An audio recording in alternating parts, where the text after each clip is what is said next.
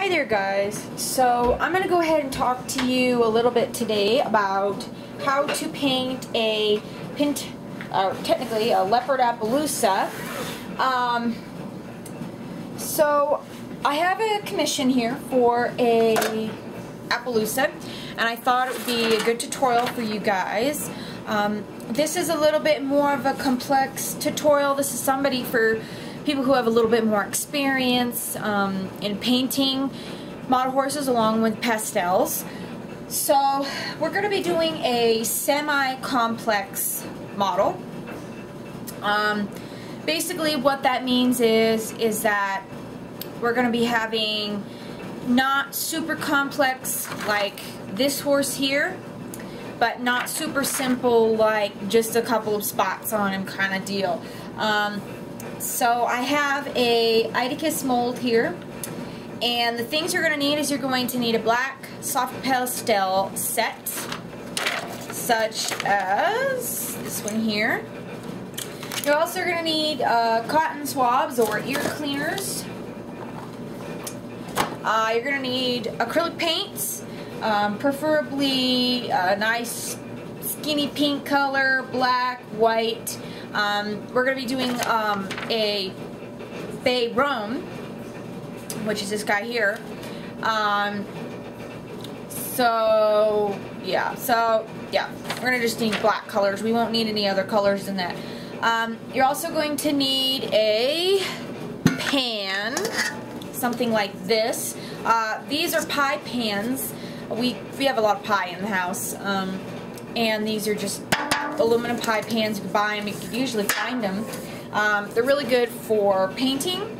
So what we're going to do is we need one of these. You're also going to need a fluffy brush, an array assortment of uh, brushes for painting. You're also going to need some glass window cleaner and uh, of course matte finish and your horse is going to need to be primed and ready to go. So the first thing we need to do is we need to have some white acrylic paint. Um, you can watch my tutorial on how to mix acrylic paints. So, but this is, feels a little bit dry to me, so what I'm going to go ahead and do is add a little bit more my stuff because it does feel a little bit too... Okay. Mix that up again.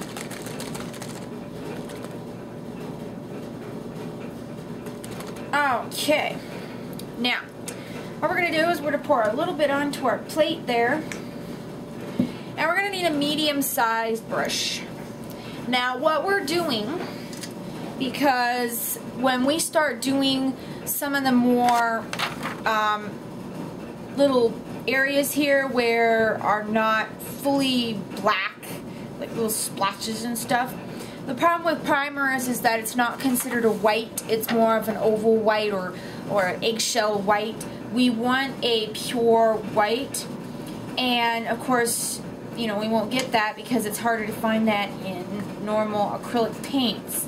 So what we're going to do is we're going to take our acrylic paint and we're going to start putting a layer of the white acrylic paint on top of the primer of course. And you always want to make sure that you go with the direction of the hair, if possible. And depending on, you know, how thick um, the acrylic paint is, you may get a very grainy look, which is bad. Um, the whole point of doing this is, like I said, so that when we start doing the detail work on him, we have something that's already a base coat below it and not this offset white primer. Um, but it needs to be very thin. The thicker the acrylic paint, the more grainier it is. Also, depending on the age of your acrylic paints, can also have a big effect on how well it turns out. Um, but usually you only need to do about one coat generally.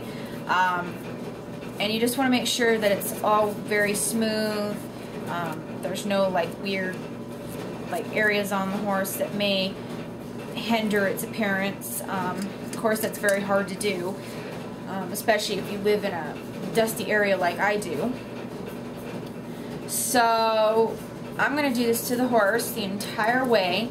And then once I do that, he will get uh, matte finished again.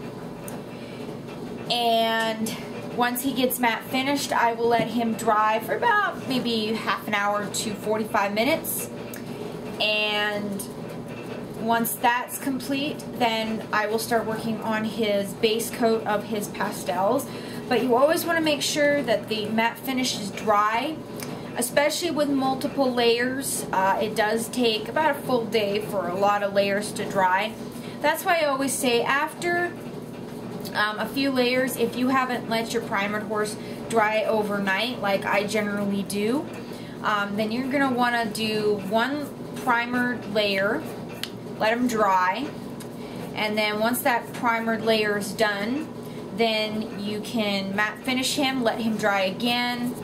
And then once that's done, you can put one to two coats of your pastel dust on him and then spray them and then you're going to want to let them dry overnight. I always say this just because um, it is better for the horse. It's less likely to have more problems later on down the road especially if um, you live in a very wet climate. I live in a very dry climate most of the year around, so it's a little bit different for me, but generally I still let my horses sit overnight um, to make sure that all the layers beneath are 100% completely dry. So as you can see, I'm just adding another coat. I've already have an, um, one coat on him. This is what I call the finish coat. Um, it's just kind of a light brush on of the same acrylic paint. It's very, very, very thin. Um, just to fill in areas that I may have missed. Um, and of course, you know, once this does dry, then I'll matte finish him, let him dry for a little while, and then go ahead and start working on his pastel layer.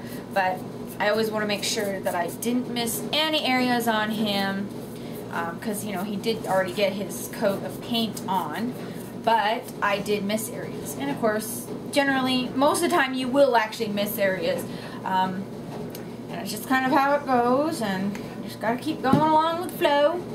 So alright okay of course this guy doesn't have much of a tail to hold on to um, now, I know a lot of people ask me, oh, I get this really, really grainy look to my horse. It's super, super, super grainy. That's because you're not thinning it down enough. Um, if you don't thin down the acrylic paints, they get that grainy look. Um, they need to be thinned down very, very, very, very, very thin. You also need to learn how to work with acrylic paints. Acrylic paints are one of the hardest medias to work with just because you know, people say, oh, well, they're really easy, you know, they're, they come up really easy with water and they're super, you know, easy to just deal with, but they're not the best for shading. They're not the best for um, a lot of things, actually. Um, they're good for, you know, finishing markings and doing minor touch-ups, details, stuff like that. Um, but overall, you know, you don't really want to use them all the time. I'm more of a pastel person. I've always been a pastel person. I prefer pastel 100%. Um, it just gives much more detail to the horse and it's absolutely fantastic and it's beautiful. Um, okay, so um, you can see here that I've gotten his coat of his white on there. So now what I'm going to do is I'm going to let him dry. I'm going to matte finish him.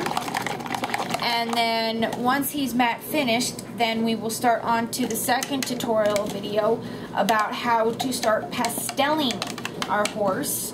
Um, and remember you will need your black pastel set.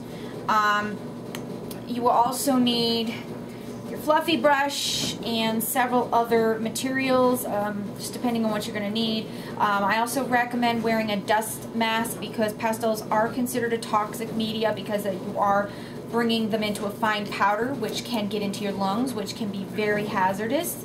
Um, so I always recommend having a dust mask or some sort of mask in general to protect yourself from any hazardous materials that you may come in contact to with when painting. So I'm going to let this guy dry and we will go on to the next video after this.